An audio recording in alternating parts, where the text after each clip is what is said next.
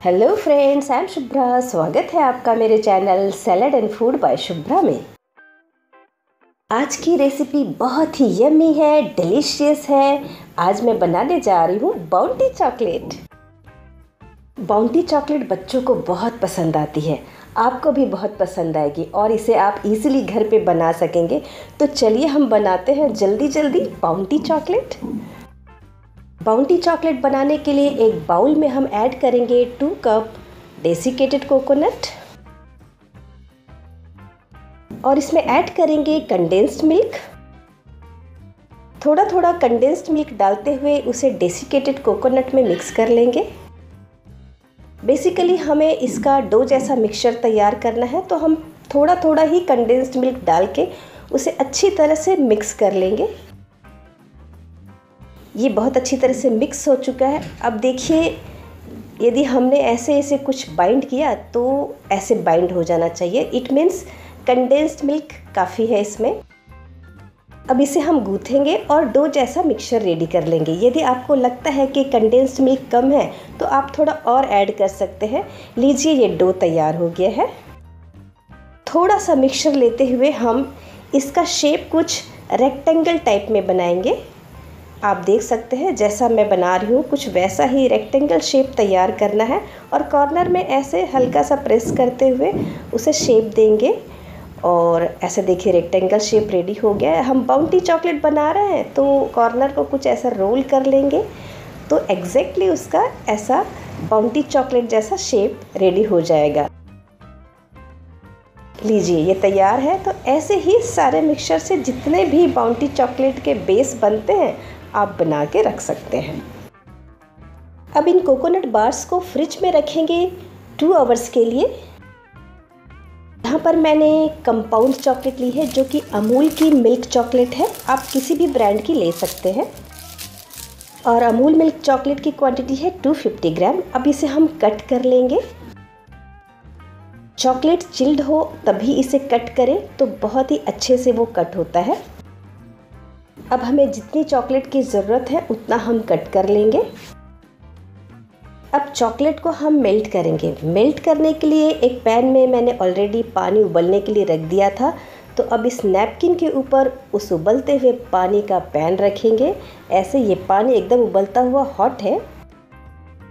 अब इसके ऊपर रखेंगे बड़ा सा ग्लास बाउल। अब इसमें डालेंगे कट की हुई चॉकलेट। स्टीम से बाउल गर्म हो जाएगा और चॉकलेट डालने के बाद हम इसे हिलाते रहेंगे हल्के हाथों से।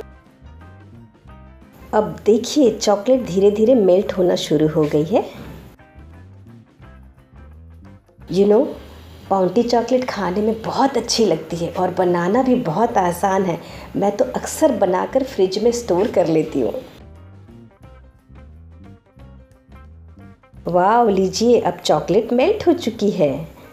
तो हम इसे अब साइड में रख लेंगे। और जो हमने कोकोनट बार फ्रिज में रखे थे, उसे ले आएँगे और उसे वन बाय वन इसमें डिप करेंगे। और फोर्क की मदद से ऐसे फ्लिप करते हुए चॉकलेट इसमें अच्छे से कोट होने देंगे और ऐसे हल्के से पार्चमेंट पेपर पे ही रखेंगे। यू नो इन कोकोनट बार्स को हमने फ्रिज में रख दिया था दो घंटे के लिए, जिससे ये थोड़ी हार्ड हो गई है। तो जब हम इसे चॉकलेट से कोट करते हैं तो टूटने का डर नहीं होता है। और चॉकलेट कोट कर लेने के बाद इसे रखेंगे पार्चमेंट पेपर पे, ताकि कूल होने के बाद चॉकलेट ईजिली निकल सके। और जैसे ही सारी चॉकलेट बन के रेडी हो जाए तो आप उसे थोड़ा सा टेक्सचर देने के लिए थोड़ी सी चॉकलेट लगा के ऐसे स्पैचुला से मार्क कर सकते हैं। बाउंटी चॉकलेट रेडी है तो हम इसे रख लेंगे दो घंटे के लिए फ्रिज में। अब लीजिए ये रेडी है। तो जो भी एक्सेस चॉकलेट है तो यदि थिन लेयर है साइड में तो आप उसे ऐसे ही हाथ से तोड़ सकते हैं। और यदि बहुत थिक लेयर है तो हम उसके लिए दूसरा तरीका अपनाएँगे। ऐसे नाइफ से साइड से कट कर लेंगे ताकि प्रॉपर चॉकलेट बन के तैयार हो जाए। तो लीजिए बाउंटी चॉकलेट रेडी है। है ना कितना आसान इसे बनाना? अब इसे आप फ्रिज में ही स्टोर कर लीजिए। और आपको यदि देखना है कि कैसे बनी है तो देखिए, कुछ इस तरह से ये बनती है। बहुत ही टेस्टी लगती है, बहुत ही यमी लगती है। यदि आपके सामने ये चॉकलेट की प्लेट आ जाए तो आप एक भी चॉकलेट नहीं छोड़ना चाहेंगे। चुटकियों में ये चॉकलेट ख़त्म हो जाएगी। देखिए, इसकी चॉकलेट कोटिंग भी बहुत ही बढ़िया हुई है और ये खाने में बहुत ही क्रंची लगता है।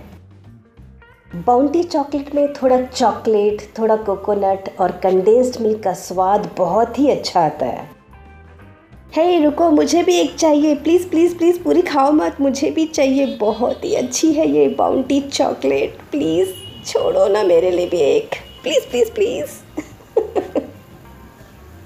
यदि आपको बाउंटी चॉकलेट पसंद आई है तो मेरे channel salad and food by Shubhra को सब्सक्राइब करें लाइक शेयर एंड कमेंट करें। ऐसी ही कुछ मैं स्वीट रेसिपीज़ का भी आइडिया आपके लिए लेके आती रहूँगी. Till then take care bye stay tuned for the next recipe